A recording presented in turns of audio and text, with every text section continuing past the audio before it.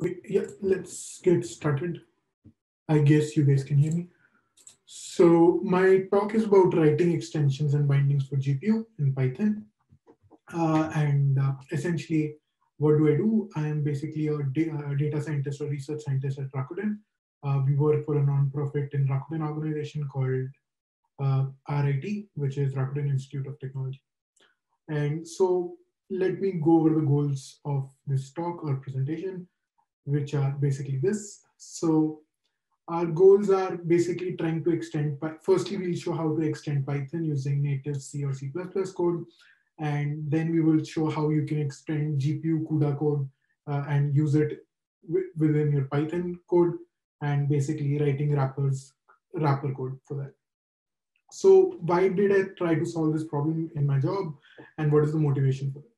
So at uh, Rakuten, I'm basically working on fashion recommendation system, and in fashion recommendation system, I'm uh, I had the task of actually finding out distances between two feature vectors of two fashion items. And if you actually do a native pairwise distance comparison, it takes invariably like invariably too much time to do it. And so essentially, there are certain things called FAISS, uh, FAISS library from uh, Facebook team, which actually does pairwise distance comparison uh, on GPUs, and it's pretty fast. But there are certain issues with that library. One, that the word vector or the uh, word vector size that it requires is 128 or larger than that. And we had a resource constraint on the memory requirement that we could save our word vectors in.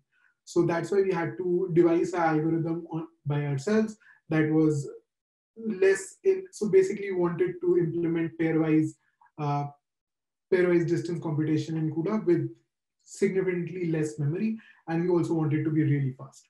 So initially I tried do, doing it using Python, but it was too slow, as I say. And then I tried using other libraries like PyTorch, SciPy, but invariably I found out that if I wanted to get more speed, I had to write CUDA code and there was no getting away with the fact. So the, one of the things that I wanted to show here is if you actually look at the k-means algorithm, let me.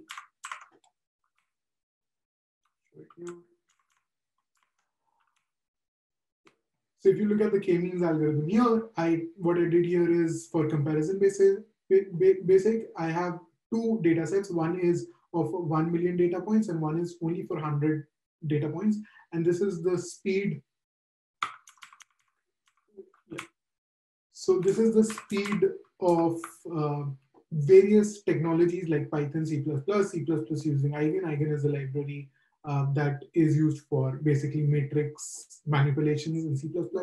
Uh, you can think of it as a STD for matrix, doing matrix stuff and it's a pretty, it is a template based library. It's pretty fast.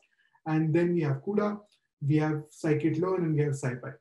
Uh, these are pretty standard libraries in Python, scikit-learn, and SciPy, and they're used always for, like, they're ubiquitous uh, for being used with uh, scientific computing. So similarly, uh, if you look at n equal to 100 points, you can see that Python is, uh, the speed in seconds is around 0.014 seconds. And if you compare it with C or C++, it's pretty low.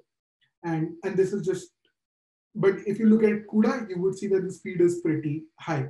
So one of the things that CUDA is used is not really good at is uh, if you're trying to run CUDA code for, for a very small data set. The main reason for that is the bottleneck when you're trying to develop CUDA applications is the data transfer time between your CPU memory to your GPU memory. So that's why it takes a lot of time.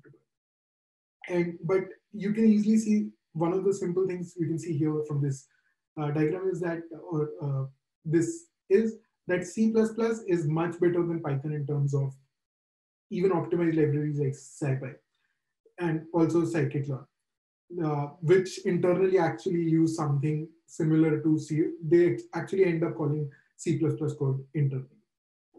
So, but if you look at n equal to a million data points, uh, when you're trying to do k-means algorithm, where, where, you set k to be anything like in these experiments, I set them to be around uh, five. And so here you can see that the good thing about this diagram is you can see that you can't even see the CUDA uh, stack bar because CUDA actually takes milliseconds to compute this. But if you look at Python, it is taking around more than seven seconds to do this. And think of this because if you're trying to do pairwise things, you have to compute a million cross million matrix and, and you have to recompute it again and again because feature vectors changes according to how, because we have to recompute the feature vectors again and again because the uploaders actually change the images all the time by adding certain things in those images. So that it would be prohibitively expensive to do pairwise computation again and again. So that's why we actually, we actually, you can see the need of using C++ or CUDA or in any bottleneck situation. So here are like basically I list out the pros and cons of writing extensions. One is definitely speed. Uh, another is you can use optimized C and C++ library functions, uh, native library functions like for C and C++. Most of the uh, BLAS extensions are written in C or C++. You can actually use them. So that's one of the good things about writing extensions if you want to write them. Uh, there, you, you will have no GIL in Python. Most of the uh, uh, speed issues come because of the GIL block. You can actually parallelize your code pretty easily if you, you know, do not have GIL, and you can have more memory. Uh, why not to do extensions is pretty similar why you don't write C and C++. It's, it's de development is so it's hard to write and there are memory safety issues while writing C unless you are a uh, 10x uh, program. So here I just go over uh, one of the simple, how do you write a simple CPU extension? So this is basically firstly you write a native code. This is can be thought of as a kernel code uh, that will be written in C++ or CPP. And essentially what I've done here is read, uh, written a addition of two vectors, A and B, and put the results in C. So this is just a for loop that loops over this. And you can actually do this in C, uh, Python as well, uh, uh, but it would be invariably too slow because loops in Python are really slow. And if we can vectorize somewhere, we should vectorize. So then how do you do this? So uh, I talk about this a little bit later. Uh, various technologies that are available for wrapping our code uh, or our C code and being able to, we call it using Python code. So here I have shown the example using Cython. Mm, there are other, in my GitHub repository, there are other examples of using Cython, PyBind 11, and ctypes. But here I've just shown due to space limitations, just one example. So how do you write that?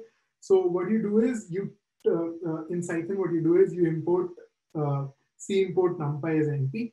And this actually gives you numpy data. Like you can actually import direct uh, NumPy data types and call them in the Python function and then pass them onto your C functions. And you can actually then define CP def, uh, adder CPU, and it actually takes in the argument of double data uh, or double. So essentially, it's if you want to think of it, it's just a pointer to a memory memory buffer of NumPy, and that is actually passed to adder CPU, which actually stores it in these data types of A, B, and C and then passes it to the native code. Then how do you set it up? Uh, so you have to, uh, for distributing code, it's pretty simple. You, uh, in by using the setup.py file, you can just add one line of extensions and add this uh, sources of add underscore CPU and it will build like seamlessly as you just write Python setup.py. Uh, so after this, I just go over what is a GPU and how GPU, how do you write codes on GPU. So basically, I like to think GPU as CPU with thousands of cores. If your CPU has four cores or 16 cores, the GPU would have like thousand more cores than that. And that's why you can parallelize your any computation easily there. Uh, it is also called SIMD, single instruction multiple data. So the same instruction set is run upon multiple data, and that can be done using Npos. Um, yeah, but there is obviously no free lunch. Uh, as you can see, like uh, GPUs are not great at control logic because their control, like the controller, if there is many if and else branches in your code, uh, then GPUs are really bad at that because there is something called thread divergence which happens, and GPUs will be very slow in that. But GPUs are very good at like single instruction, multiple data set data because they have multiple AL units. So they can perform arithmetic really fast. Another thing that they're really short of is the DRAM. So, or the memory that a GPU has. So a GPU mostly has like 16 GB to 32 GB of RAM in the expensive case, but like, so you are mostly constrained by the amount of uh, data you can put on your GPUs rather than uh, being constrained upon how much computation you can do on your. So I'll go over some terminology uh, before uh, just telling how the code is written. So basically for terminology, uh, SMs, so if you read any GPU blogs on the NVIDIA.com, they typically call SM.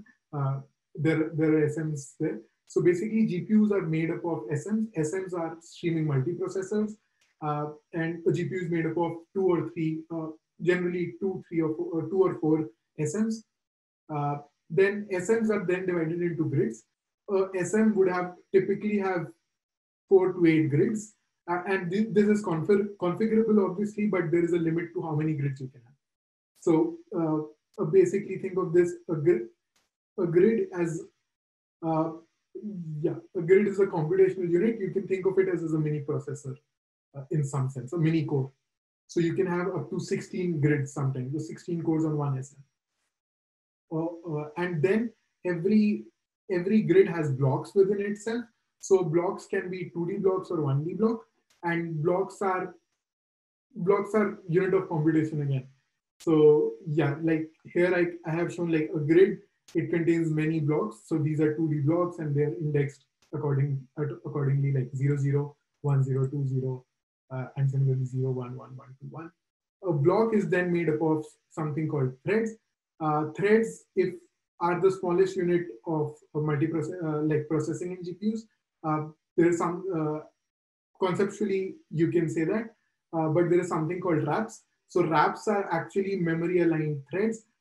These are 32-bit memory, 32 threads which are aligned, and these are mostly required if you're doing real hardcore uh, performance optimizations.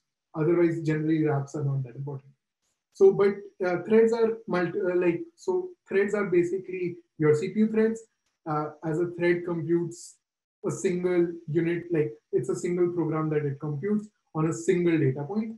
So if you can look here, so again, threads can be 2D or 1D. So a CPU grid would is made up of blocks and blocks are then made up of threads. So the smallest unit is a thread, which is now indexed by 0, 0. This would be in block 0, 0 and in the grid 0, 0, 0. Similarly, so th that's how you index the threads. So you need to get the thread index. So let's try to see this comic by some uh, by a person called Mark Newman. He explains it in a comic. So GPUs are made up of grids, uh, which are in turn made up of blocks, and blocks are made up of threads. So threads, you can then say that threads are somewhat equivalent to cores in CPU. So if you have six cores in CPU, but if you have 20,000 threads in your GPU, you would have essentially 20,000 cores in your GPU.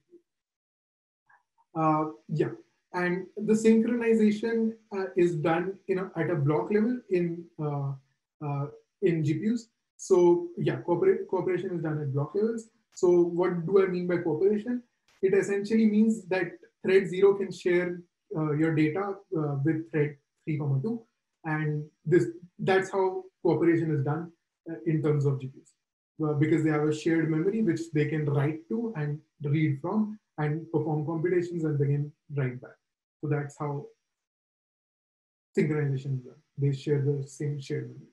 And shared memory is a very important concept in gpus when you're writing performance optimized code like for matrix uh, transpose, you would definitely be using shared uh, so let's look at some code. Yeah, so we'll look at some code later, but so suppose that you do not want to write this CUDA code directly in uh, CUDA language, you would, would, prefer to write it in Python. So there are some alternatives for that. Uh, one of the alternatives is Numba. So Numba is open source and pretty active development is there. it has both CPU and GPU support, and it and it's pretty fast. So your code can actually run. Uh, you can vectorize it on CPUs, or you can write it for GPUs, which is really great. And it has access to libraries like uh, cuFFT, cuRAND, which are very important once you start doing actual CUDA development. So PyCUDA has full CUDA API available, uh, and it has safe code writing because objects have limited lifetime uh, attached to them. Uh, it is a concept called resource allocation. Uh, I don't remember the full form, uh, but it's a concept called RAI, and it's very prevalent with C and C++ users. Uh, so when an object goes out of, it's no longer needed, it's actually deleted. So that's what RAI is conceptually. Uh, then you have CuPy. CuPy is NumPy for GPUs. So it has tried to actually replicate every NumPy function on GPUs, and it is supported by NVIDIA. So one of the issues with using all these libraries, I tried using all of uh, NumPy and CuPy in particular. One of them is it's harder to debug them.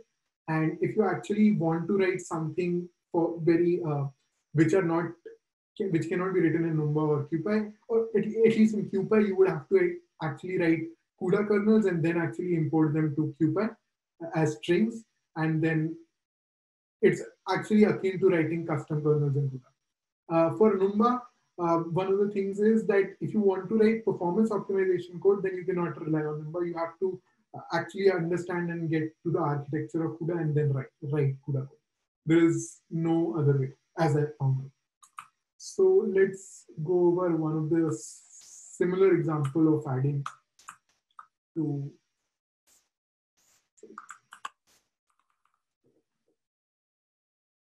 yeah. So let's go a simple example of CUDA code. So here again, I'm trying to add to two vectors and storing the result in it. Uh, what I need here is the thread index. So as I said, thread is the basic unit of computation in uh, GPUs. So every thread will now, so suppose that this A uh, is a vector of size 256, then I can initialize my block uh, to have my, uh, so I can initialize 0, comma 0. So blocks would be 0, comma 0 and threads would be 256. So every thread is now responsible for one unit of data point. So like A0 is, is responsible for, uh, is so thread 0 is responsible for A0, thread 2 is responsible for uh, A2 and similarly. So once you get the thread index, then you can use that index to actually get the data point, the, the index from A. So, and then you can add it. So then it is actually a computation which is done in parallel. So this is a pretty simple code. Uh, it gets actually, uh, yeah. So this would be your main kernel function that you would would actually be run on the device code. That's why it's labeled as global. Uh, and yeah, I think that's about it. But how do you actually run this? So there is something called a uh, driver function that actually calls the above kernel function. So firstly, what you would need to do is you need to al allocate all these on your device memory. Device memory is your CPU memory. So you actually assign uh, just a CUDA malloc code to, oh, sorry. So uh, CUDA malloc actually assigns, uh, can assign to both uh, your host memory or your device memory as well. So here, firstly, we are trying to uh, assign memory on the device uh, using CUDA malloc for dev A and everything like dev B and dev C, which would actually be storing the, uh, the, the, the computations on GPU. And then we actually copy the bytes from the host memory, which was uh, double A, to a device memory, which is dev underscore A. And that's why we write CUDA mem copy host to device. And then we actually initialize the number of threads to be 256 uh, because we want it to be, uh, uh, yeah, because we want to have 256 threads. Your A can be much longer than 256 as well. And then like this formula comes into uh, picture which is n minus 1 divided by number of threads plus 1. What this does essentially is it actually divides your data so that every thread, so it's done like your data is handled fully because it could be 512, then you would need to have actually two blocks rather than just one. So that's what this code does. And then you actually uh, do a kernel invocation, which is done using uh, this code. uh, basically you say that this is the number of blocks, this is the number of threads I require on my GPU. So the GPU assigns them to you and then you pass on your uh, basically the pointers of the data where you have stored them and the computations. And then you actually then copy back the answer of dev C to C uh, here, and this is here, and this is a device to host copy. And then you your CUDA So the wrapper is very similar to a wrapper in in the uh, CPU case, which is basically, I think it's very similar because we are dealing with pointers. So we just pass the pointers uh, from the NumPy memory buffer here, and then we actually pass those pointers to this, this invoca invocating code, uh, and they're like they're passed by reference here. Uh, the important part here that I was not able to fully write down here is is the setup.py file. Uh, so I struggled a lot with the setup.py file uh, for GPUs because uh, you need to actually uh, find, uh, add NVCC as a compiler to the uh, uh, to the setup.py underscore compile function, which actually then understands okay that this is a CUDA code, C code, then this should be uh, compiled using NVCC. And if you just do this, it won't work. You would have to have some extra hacks which are there in my uh, GitHub code. So you can have a full look there. But what this what this is saying is the sources like are my CUDA code and my wrapper that I, that I had in the CPU code as well. I need to add some certain libraries like CUDA lib64 and cudart, uh, and similarly the runtime arguments. So essentially, if you have ever uh, used the make command or uh, ever compiled C, C uh, C or C++, you actually need to pass or using minus the linker flags and the linked libraries using minus L and minus I flags including. So this is similar to that. That's what we are doing here. You need to pass some other things to NVCC, certain flags like what architecture you want to compile it for, some compiler options like uh, optimizations that you want to. Uh, so in conclusion, what I had learned from this is if you need to do rapid prototyping of something and uh, and you want to write some custom CUDA kernels, uh, you should use NumPy and CuPy. Uh, if not, then you but it's better to write CUDA code on your own and do, do debugging upon that because when you're writing CUDA code, you would have to debug a lot uh, to get better performance because one of the important things in getting be better performance is finding out uh, what number of blocks, what number of threads you need to use.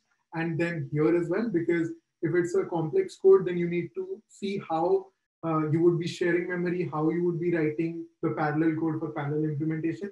For more, you can look at the NVIDIA blog that there is uh, where they go over transposing a matrix in many forms and how it, it is done.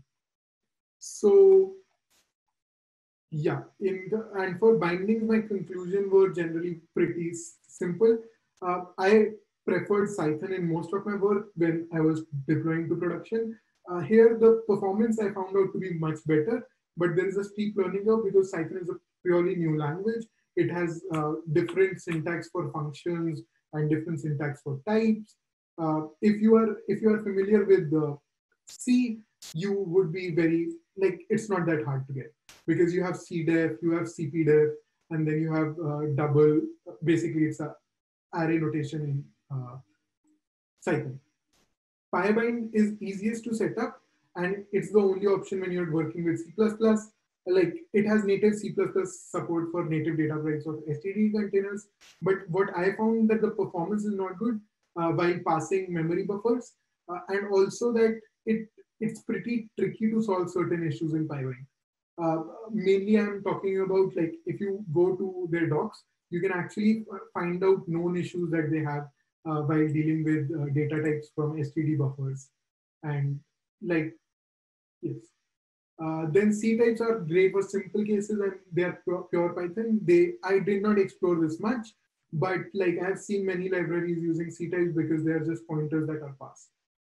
Um, yeah, so uh, my conclusion for CUDA is that it has a steep learning curve, but there are great performance returns in production if you have some really critical performance intensive code that you have to write, then you should basically learn CUDA and try to do it.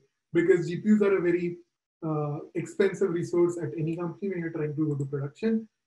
And proper utilization of CUDA, I don't think most of the data scientists know. And so I think that's something we need to learn to do. Uh, I'm still learning. There's a lot to learn in CUDA. Uh, yeah, for more advanced examples like my k implementation and my uh, pairwise implementation, you can check my GitHub, which I'll provide the link in my in, in the references. Uh, so yeah, that's about it. If there are any questions,